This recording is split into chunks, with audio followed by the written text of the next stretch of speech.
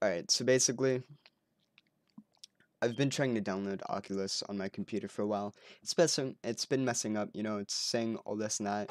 I tried to download it to my default drive, which it does by default, and it has to, you know. And then so it says not enough space, something like that. So you're like, okay, I'm gonna download it to another drive, and then it won't let you, you know. Like, how do you do it? And then you look up all these videos and everything, and it says, you know, take take the link and then copy it in a run and do that. And either your username messes up, the the um, address messes up, you know, where it is in the files, it messes up. It says something, and it's just not working. Can't figure out the username. Something doesn't work. Anything that doesn't work, I should be able to help, unless you use um OneDrive. Then come to this guy's video, and in the description, he'll help you with that. But everything except OneDrive, I'll try my best to help with right now. I didn't want to record it, but I had to real quick because anybody I can help, that's great because I've been messing with this for hours. Super annoying, right? So basically, I'll try to explain what I did. So, um, basically, what you want to do is go to your, um, you know, files or whatever. Go to wherever you have the um, installer for, you know, um, the Oculus, you know, the setup. So you want to go to Oculus setup. I don't have it here because I already moved it, but it'll say like Oculus setup or something around here. I'm not pointing to it, but you know, you'll have to find it for yourself. It'll say Oculus setup. It's this. Take it and then drag it onto your desktop. Just click and hold and then drag it there, right? Not this, your Oculus, right? And then it's this. You drag that from there onto the desktop. And then it'll be here, right? So that's good. So basically, you have to do that. You have to. You have to. You have to put the Oculus setup on the that onto the desktop. It can be anywhere, just on the desktop.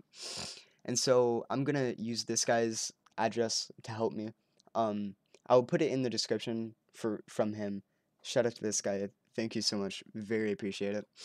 So basically, you'll take this right, and then you'll um take it, and then you'll copy it, and then you open run, and then you'll want to um paste it into there, right?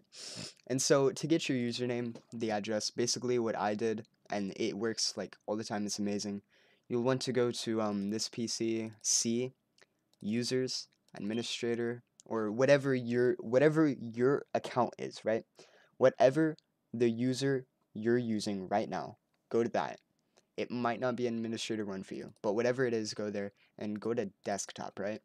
And so basically up here at desktop, you want to right click it and then press copy address as text and then you'll um write on desktop highlight that and delete everything else.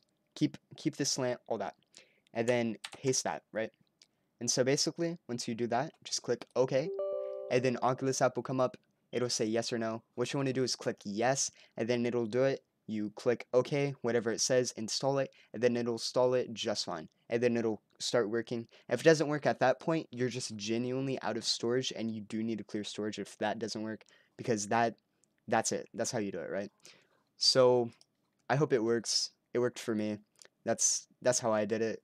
Everything else wasn't working, you know. I looked up all the videos, all that, and then I couldn't find the username, the address. It's just it's it's a pain. So that's the best way I can explain it. I haven't seen anybody else explain it like that. That's the best way for me. That's the best way I've found that I've seen. So I hope it helps. I don't know how I'm going to title this, but you know, thanks for watching. I hope it helped.